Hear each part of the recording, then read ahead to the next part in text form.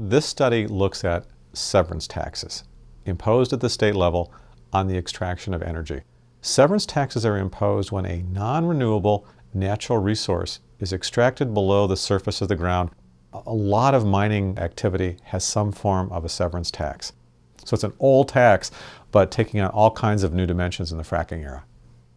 Almost all of the states that drill for oil and gas, an activity that's now expanding because of fracking, impose some tax like this. There are 30 states that have some form of fracking policy, but historically these severance taxes have been quite popular politically. In fact, the rates tend to be highest in conservative states. Alaska is really the grand champion of this form of taxation. The state usually gets more than three quarters of its total revenue from a severance tax or production tax. But an emerging concern now in Alaska is that with the competition that's emerging in the remaining parts of the U.S. because of fracking, does Alaska need to reduce its taxes to begin to compete? And we're producing a lot more gas.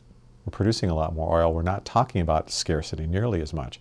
And so as states begin to think strategically about harnessing that resource, the attractiveness of keeping tax rates low becomes significant because there are more competitors in their own backyard. We're not aware of any set of shale companies that have literally pulled up their drilling rigs and gone somewhere else because of the tax changes. That said, most of these rate changes have occurred in the last year or so, so it's a little bit early. And this also coincides with the fact that there's been such a spike in production that may be actually depressing the attractiveness of further development because the price is going down. In turn, that declining price may force states to further rethink just how they want to approach this issue.